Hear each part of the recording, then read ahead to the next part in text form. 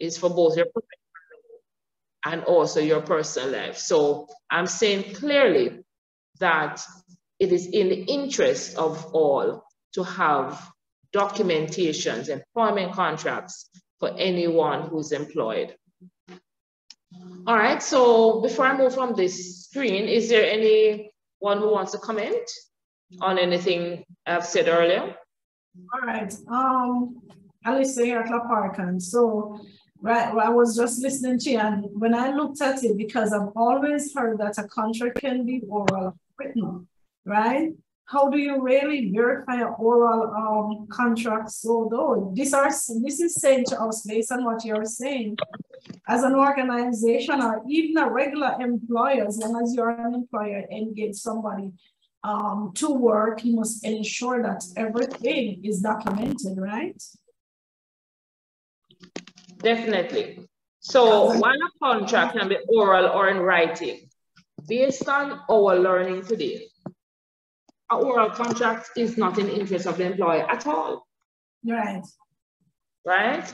Because you definitely have no means or evidence of what you would have done in relation to this worker in the event that there is some kind of um, issue, um, dispute, you really have absolutely nothing to defend yourself.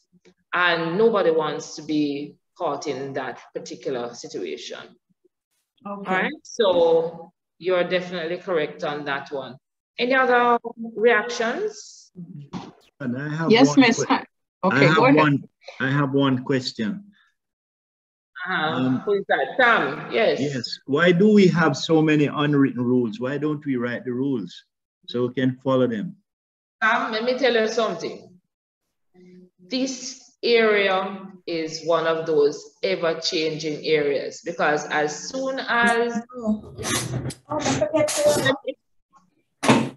feedback, as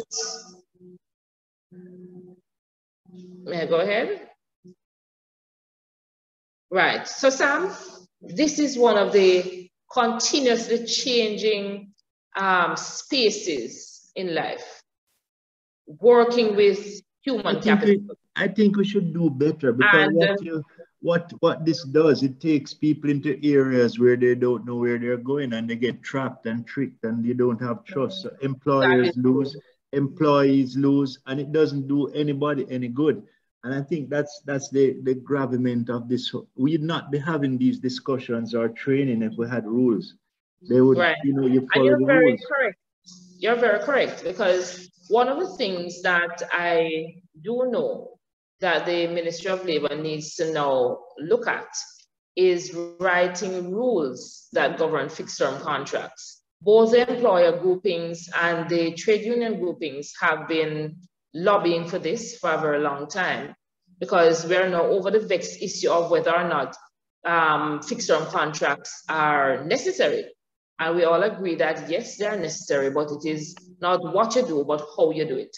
And until we have some of those rules um, firmly entrenched in quote unquote law, we will have to keep ourselves current like we're doing now in terms of what to look for and um, how to operate.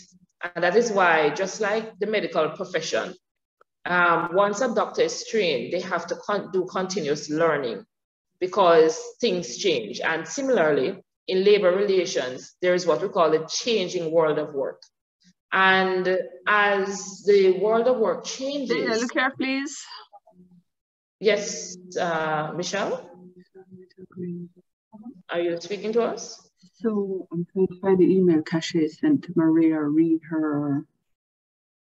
I think there's an interference. Michelle, can you turn off my please?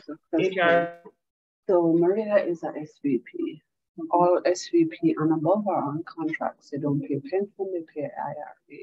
Um, she sent Maria the pension documents. Of course, you know, Can you miss that are in a new field, we have to do continuous learning. So yes, I agree with you on that comment, it um, Can we, Michelle, can you mute? Okay. All right, so I've muted Michelle. All right, so Sam, it is part of the changing world of work. And this is not just happening in Jamaica, it's happening globally. Right? I think, I think, yes. I think countries that don't have rules, the workers are the ones that are disenfranchised because employers will make sure that they're not going out on a limb mm. because they don't know if they fall where they'll drop in, if they'll drop into an alligator mouth.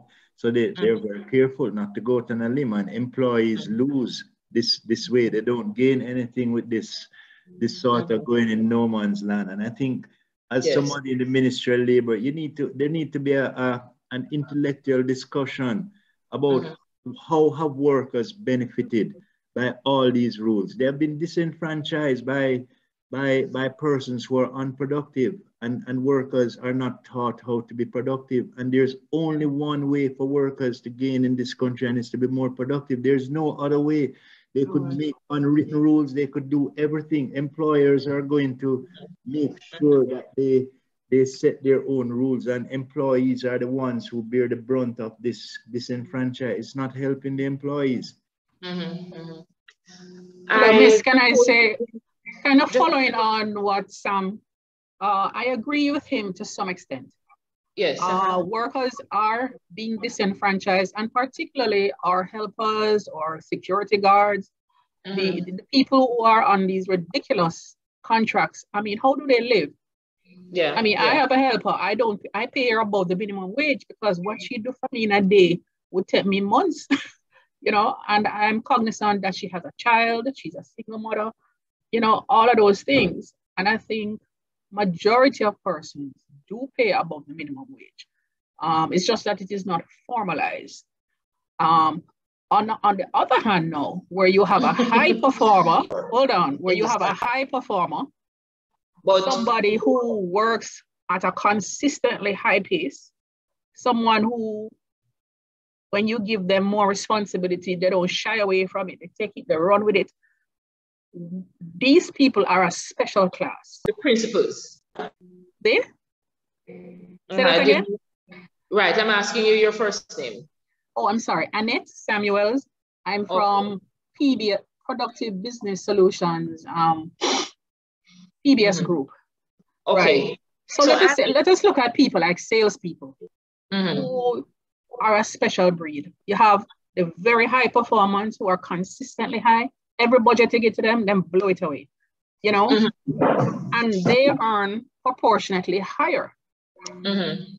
How can you then say that you want to? And also, you, you, mentioned that we're in a new era. You're quite right. It, a lot of people are working hybrid. Some people work two days at home, three days in the office, all that kind of thing. So mm-hmm. it, we are evolving into a completely new era which we have never seen before. Mm-hmm. It is totally new. How right. do you and then? why it is so difficult to document yes. every single thing because it's changing. Yeah, what it's constantly changing, right? For instance, yeah. Um, and I'm engaging you, Annette, and Sam a little bit more. Yeah. For instance, in 2019, the way we worked is totally different. Totally, totally different. From now.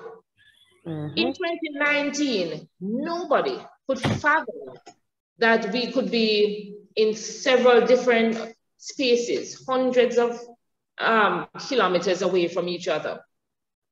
But we are interacting in a classroom setting because. Yeah, many people said it, it could never work, but it took a pandemic to show us that it can work. And what is happening also in employment is that we're talking about contracts and some, and, and it, I'm engaging you a little bit more. We're talking about contracts and writing down these things. Yes, yeah. What is happening now globally is that people don't even want this. When you say this, what do you mean? They don't even want employee employer relationships anymore. Mm-hmm. That's a fact. That is a fact, Gillian. That is a fact. And I still, you... I still, I still contend that as trade unionists and as leaders in the labor market, we mm -hmm. need to mm-hmm. talk to workers about productivity And yes. there's no there's no way around it. You could go. Yeah, agreed. We agree. We agree. There's no way around it. Sam, we I totally agree. But what about the worker? Hold a second, um, Annette. Hold a second, Annette. Sam, mm-hmm. I agree with you totally. If I touch productivity now, we're going totally off track.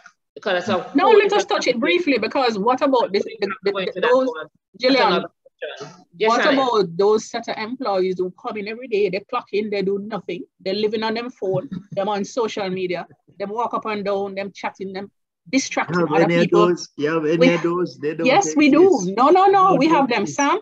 We have them. Come on, we have them. So, Annette, what is going on is that we have to determine whether or not those are in fact employees. And That's a good question. Well, no, you're talking. doing work. No, you're talking. But they are there and they're very cunning in how they hide. You can't see what they're doing. Exactly. Sometimes they're missing, oh, they're gone on the road for something, they're gone whole day. All right. I would want to deal with that on a productivity. Okay. But let me respond to it to say that I don't hold those workers accountable for that kind of activity, you know, or lack of activity. I hold Julian, with all due regards, you need a superstructure I to control those things. Accountable. Who you said, Julian? Who you would hold? Who? I hold supervisors. No, but you're they, right. They, you're absolutely right. Product, they're, ultimately, they're all employees.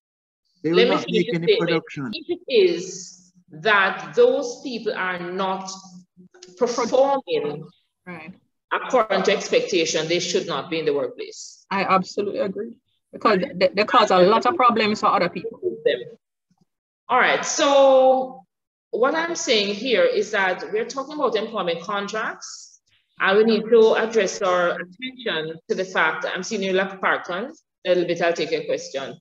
I'm seeing globally that workers don't want to work like this anymore the new generation, I don't know if it's Gen Z, we call it Gen Z or whatever is this generation, they are not, they're not um, interested in full-time employment. They're not interested in working 10, 15 years with any company. They're interested in just making some money and they're moving from one place to the other. So I see we have a couple of entities, um, for instance, those that are in graphic arts and all of that, those persons, they want to work for themselves. They want to just um, get a contract, um, not an employee-employer contract, but some kind of task work, piece work. So they do something, and once they've done that thing, then they move on to something else, right? That is the kind of engagement that they want. They don't want to be in an employer-employee relationship with vacation leave, sick leave. They're not interested in that. That's they true, Jillian. And you know why? Because employers and Jillian, sorry. Yes, they, I mean, um, those, those, the younger generation, because yes. their side hustle pay them probably three, four times than what the employer going to pay them. Exactly. You can't, you can't blame them. You can't blame them. Exactly. So we're moving from a place where this formality that we're talking about is going to be the, the, the order of the day. So each organization, whether public sector that's on today or private sector, you are going to have to address your mind to the fact that some of these persons are going to be almost contractors to you soon. How to break. Okay, um, La Parkon, do you want to weigh in now? Yes. Um, so I was just gonna backtrack a bit to um, what Annette was saying, and then your response to it in terms of persons sometimes you they are employed, they come, they waste time, they sit on their phone and they do nothing really, or they are always underperforming. Now this person's in a contract. You have a contract with this employee. This contract is for one year, and all of this starts happening within maybe the first six months of the contract and stuff like that, right? And no earlier you said that persons don't have the notion that if you're in a contract due process, you don't necessarily have to follow due process in ending a contract and stuff like that. So I am I want to ask you in this regard, such um employee in the organization, a contract for one year, within six months there are issues with the staff. How do we proceed to end this contract before the, the, the end date of the contract? All right, so you have fast-tracked my presentation by asking that question. Oh. I will still um, begin answering. The first thing is that every single contract has to have firm termination clauses. If, as you have indicated, there is a performance issue, you need to be documenting what that issue is. You need to be raising it with the employee and giving definitive timelines for whatever is the um, corrective action. And you need to reassess. And from there, you can start effecting your termination. What we have happening is this. Persons will receive, a person will receive a letter to say that you're not doing so and so. And you are, as a result, you're terminated with immediate effect. Let us break it apart now, my friends. If the person is dismissed with immediate effect, that means not even breeze blow between the issue and the quote unquote um, right of an appeal. You follow what I'm saying? I follow you. The person must have a chance to take corrective action. If that fails, then you can go through with your termination, right? And have all the documentation in place. A lot of organizations think that once we pay them the correct money that the government say, that is all to it. No. Termination by reason of dismissal, the one that you said you're fired, mm-hmm. it has to do three things. It has to pass, I call it the litmus test. It has to, one, the reason must stand scrutiny, right? The reason the person is being terminated must stand scrutiny. So therefore, you must state the reason that the person is being terminated. Too many of these letters don't even have that in it, right? Right. The second thing, so when you're contemplating the termination, the first thing you need to do, and if you're represented by an attorney, and I have been speaking to the legal counsel on this, is that they first must establish what is the reason that this person is being terminated. Do not camouflage it, do not hide behind the post, because guess what? After a while, all of that comes up in the wash. So the second thing, after you've determined that the, the reason can stand scrutiny, the manner in which a person is terminated must stand scrutiny.